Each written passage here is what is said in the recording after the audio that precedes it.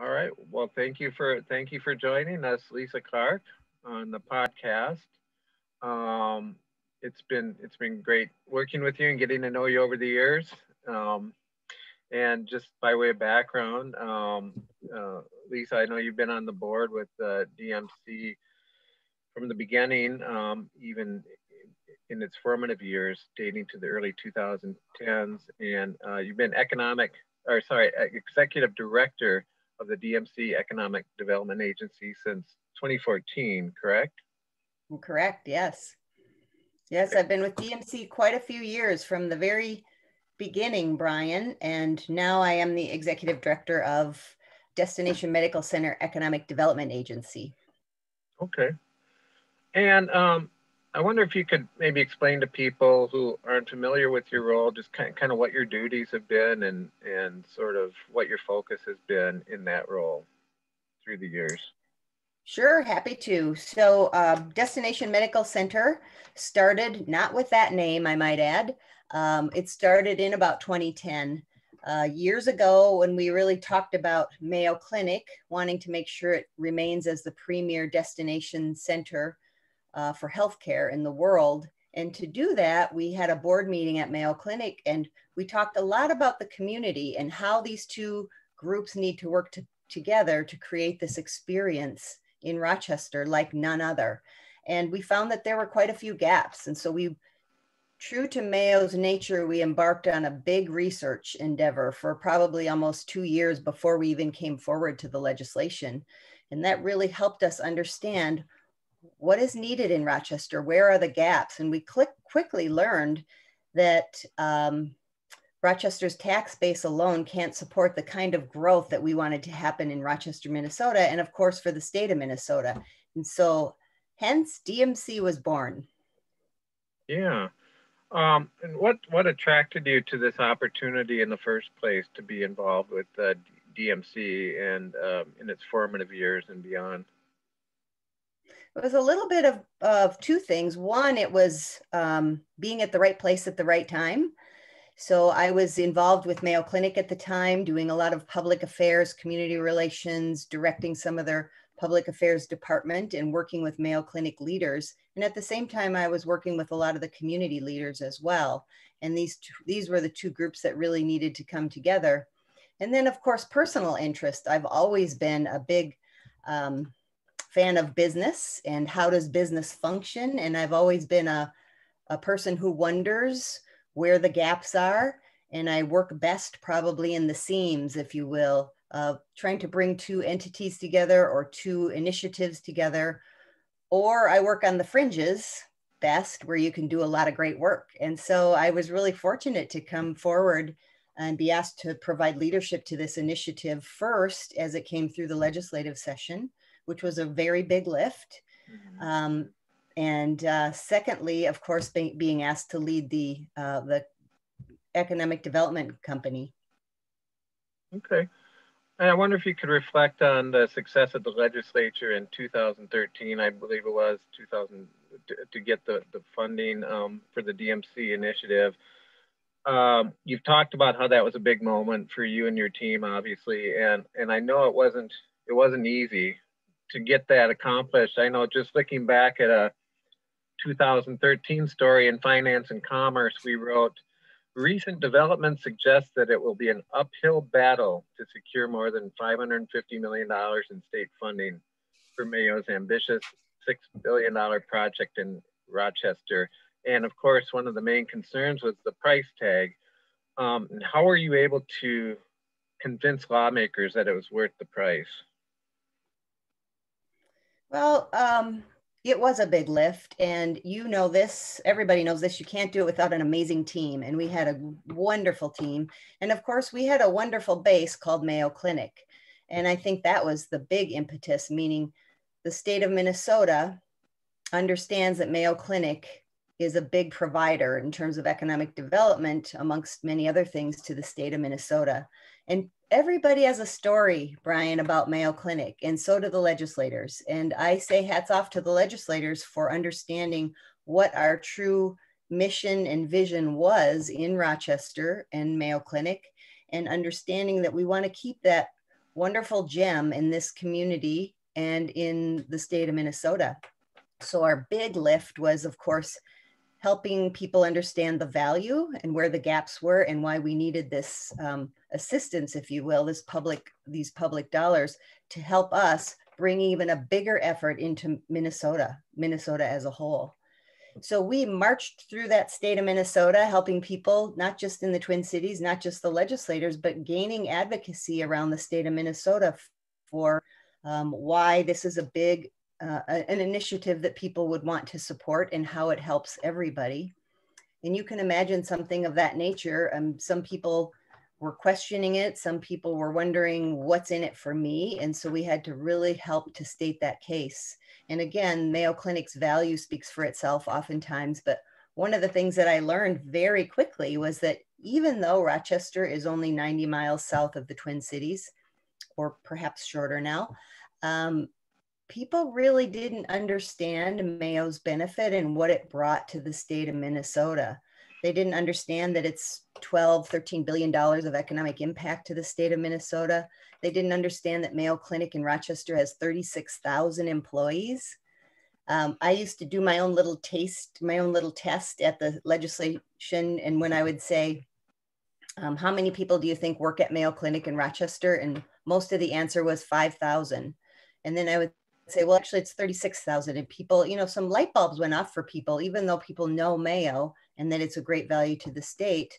I don't think they really knew the depth and breadth of Mayo and, and what it does for the entire state of Minnesota, not just Rochester.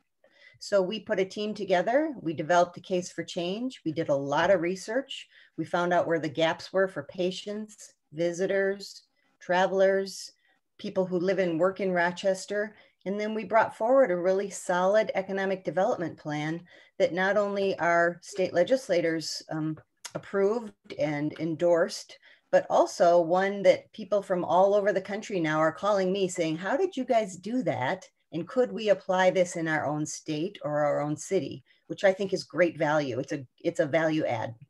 Mm-hmm. Mm-hmm. So, uh, can you talk a little bit about some of the big um, highlights or accomplishments that you've seen uh, at, at DMC. The uh, we've written before about uh, you know a billion dollars in development projects since 2014, um, 7,700 new jobs, um, added uh, thousand new downtown housing units. Um, can you expand on that a little bit? And, you know what it means to see that kind of investment. Definitely. Um, Rochester's goal, or DMC's goal, of course, is to bring 30,000 new jobs to Rochester, Minnesota over 20 years. So DMC is a 20 year initiative. Um, we also believe that we'll bring five to six billion dollars of new investment into Rochester. And again, that's over 20 years. And then um, the state gave the nod for the $585 million of of public support. And the, the really interesting thing about the model is that it's a private dollars go in first, public dollars follow. So I think people sometimes have uh, are misinformed or have an idea that all the money has been transferred to Rochester at one time.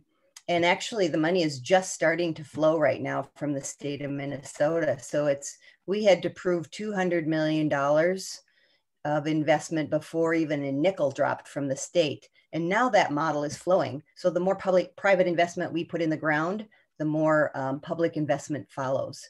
And so the model is working and it's a really interesting economic development model that I've been sharing across the country because it's it makes a lot of sense. It makes a lot of sense and it's less risk, if you will, for the state. So what we've done over the last five years, and interesting that you're asking this now, Brian, because this is our five-year update. So in the law, we said that every five years we need to update the DMC plan, which makes a ton of sense because um, many of us have been involved in planning either city plans or other business plans where we think it's a great plan and it goes up on a shelf, never to be looked at again until somebody dusts it off 10 years later and go, didn't we do a plan somewhere? And so I think that this is um, this every five year stopping point has really been wonderful for us. So on the DMC team, which is an amazing team, um, we've put together a look back like, what are the successes in the first five years? And we are so proud, Brian, of the first five years in DMC. As you said, we brought in about a billion dollars of private investment. So we're on track there. Um, 7,700 new jobs. We're on track there. Um, we've built hotels.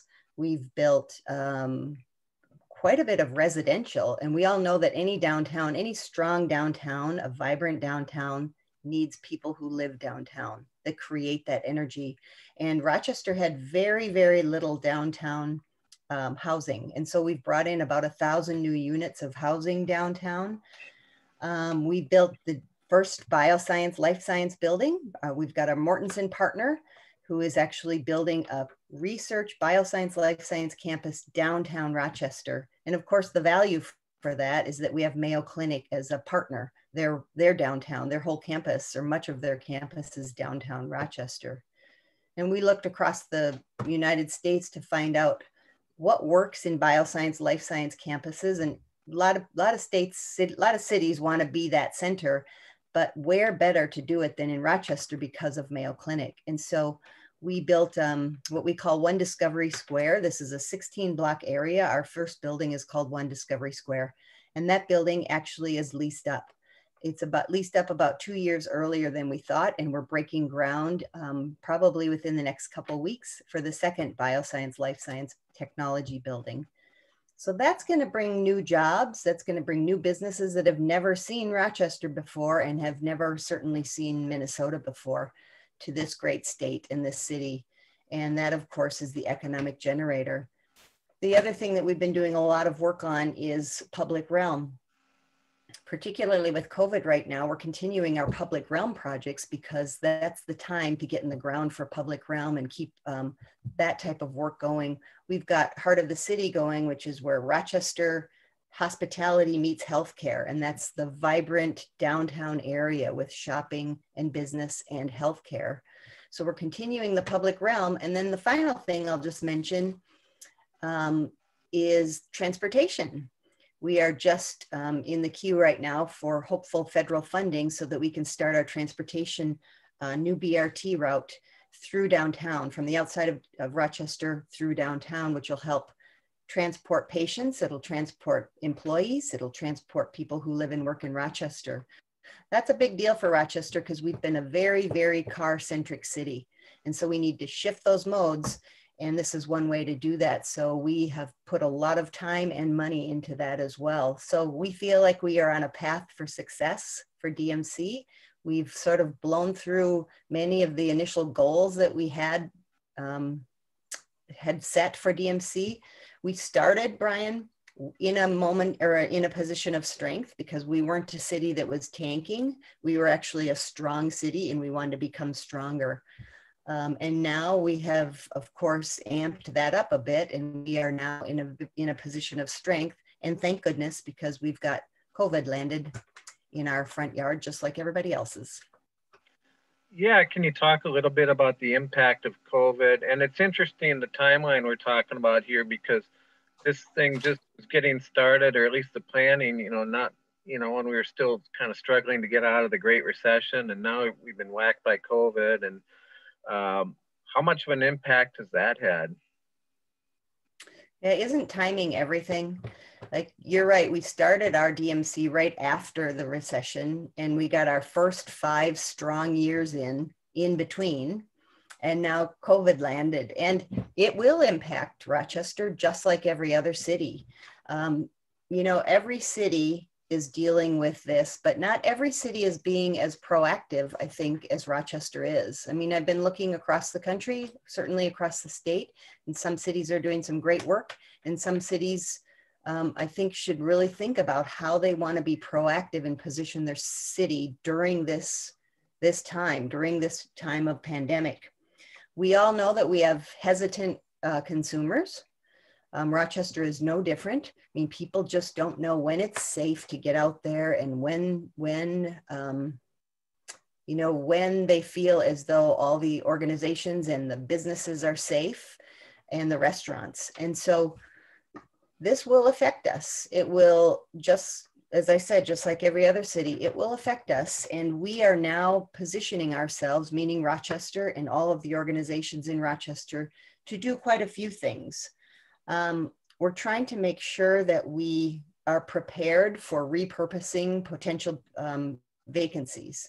So, as some of the small businesses are starting to go away, unfortunately, I mean, every morning I wake up and I hope for the businesses and I hope they're doing, you know, they can stay afloat and some of them can't. And so, how will we take that real estate, that commercial real estate, and repurpose that? So, we're starting to have those discussions right now. I mean, what, what are the best ways in which we can do just that? A couple of other things that we're doing, um, we're doing a lot on the monetary side, meaning we are partnering with other organizations to provide as many funds and grants and um, any dollars available for particularly small businesses so that we can help them get through this really, really tough and gritty time because everybody's going to need every dollar they can to help with that. And, and we are providing jobs in the community continuing. So the great thing about Rochester is yes, it will be affected. We perhaps may be affected a bit less for two reasons. One, we have Mayo Clinic, um, and those patients are coming back. People need health care. And two, we have these DMC tools that we're continuing to use. And so we feel very blessed that we've got projects that are continuing to move forward.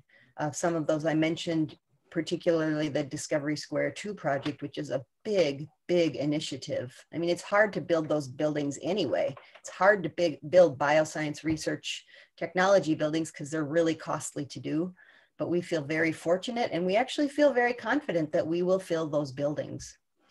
So we're working with all the community partners to do the best that we can to really help businesses and to help this community get through this tough time. Yeah, and uh, well, there's certainly five. The first five years are promising, but there's still a ways to go. What do you see next? Um, just kind of continue to build off the successes that you've seen. Um, we will. We will do that, Brian. I think diversification is really important for us. We need to continue to diversify our economy. I mean, Mayo Clinic is one mammoth healthcare economy in Rochester, Minnesota, thank goodness. And um, as I said before, they provide jobs to a lot of people, but those things are shifting now, like other cities as well. I mean, how many people are going to be staying home um, and do remote uh, um, working? And that will affect us, that will affect our downtown. And we need to make sure that we continue to focus on our downtown. It's sort of our golden goose, if you will, and we need to keep feeding it. And so to do that, we are going to have to repurpose things and keep uh, the public infrastructure happening. So this Heart of the City project I talked about, and we've got a project called Discovery, Discovery Walk, which is a linear parkway that's trying to connect all of these sub-districts in Rochester to create more of a people-friendly, uh, pedestrian-friendly environment. And so we will continue the projects where we can because it brings jobs to this community. I mean, it brings hundreds of construction jobs in this community and it keeps our economy going. And so things like that are really important for us that we continue to invest in that infrastructure. We continue to invest in public realm. We continue to move forward on diversifying the economy with this bioscience, life science campus, and really focus on our small businesses and our local businesses so that they stay with us because I do believe we will come out of this. It's going to look different. Mm-hmm. Businesses have to change. We've seen it a lot. Um, and it's been really fun, Brian, to see. Um, I think it's been really interesting to see how innovative businesses can be. There's a lot of businesses right now that just took this time to make the pivot, to change their business model, to get online, to open up in terms of outdoor seating, to think about um, delivery, food delivery, to um, offer different products and different services than they ever have. Or we've seen businesses partner. Businesses that never would partner before have now started to partner to say, you guys do X, we do Y, let's do it together and be stronger. And that's why I think the economy will, everything's going to change. Nothing's going to be the same it was as it was but I think smart business people have already leapfrogged to the future and are really thinking about how they can be strong for the future. Yeah. It's been it's been a I think that's been an outcome of uh, this pandemic that people I certainly didn't realize everybody's doing things different or faster. You know, maybe even Mayo Clinic, they've done some things differently about virtual care um, that they weren't quite ready to do. Um, and they just, they leapt right to the future because that's what people were asking for. And that's what we were needing at this time. So we might have all gotten to the future a lot faster than we thought. Well, yeah, that's a good observation. One thing I've been hearing is this pandemic is just expediting some of the trends that maybe were happening in the first place or would eventually happen, um, whether it's working at home or different things like uh, you mentioned with Mayo. Um, so interesting times we're living in, certainly. Um, what what I understand now, of course, you announced uh, recently um, your upcoming retirement, and I believe you're on through the end of the year. Is, is that right? I am right. What will I'll be retiring? Um, yeah. I'll be I'll be retiring January fourth. Okay. And um, was your question, what are you going to do when you retire? Well, I'm just kind of curious what you'll be doing between now and then. Um, I know you'll be handing off the baton to uh, Patrick Seeb, so it'll be in good hands there. But uh, kind of what what uh, what are you focusing on now in your last couple months on the job? A great question. I, you know, when I announced it, I had about five months, and I thought, oh, it's a long time. I'm, you know, to to get ready for retirement and to get the team ready in terms of transition. And actually, it just flies by. You know, all of a sudden, I've got a month or two left, and off I go. I feel so confident in the team. I could never, you know, you don't want to step away until you know that the things that you meant to do are finished. And for me, I meant to bring this organization forward. Yeah, I wanted it to be strong. I wanted it to be sustainable, sustainable, and I wanted it to have the right talent in place. And I feel so good about all of that. And also um, landing in a position of strength over these last five years. So we've done such great work as a team. Right now, I'm working um, mostly on the five year update, making sure that we button that up before we get to our final board meeting, which is in November, and making sure that we have a really strong, solid base, which we do, and a strong vision for the for the future, including COVID and the and the impact of COVID. So we made sure that that was part of our five year plan. We didn't put our heads in the sand. We just stood up and we said we are going to we are going to move forward and we are going to um, we're gonna we're gonna be innovative and creative and help where we can to keep this economy going strong. Um, big transition plan right now with Patrick as my successor. Um, he's going to be amazing. He's already been an amazing business partner and he's ready to take it to the next step, which is always great. And I always believe that my husband's been retired for two years. And so he's doing such a good job of it that it's my turn to join him. We always said we wanted to retire when we have energy and when we're healthy. And we are blessed with both of those. And so it's a great time to uh, be off and running on the retirement world.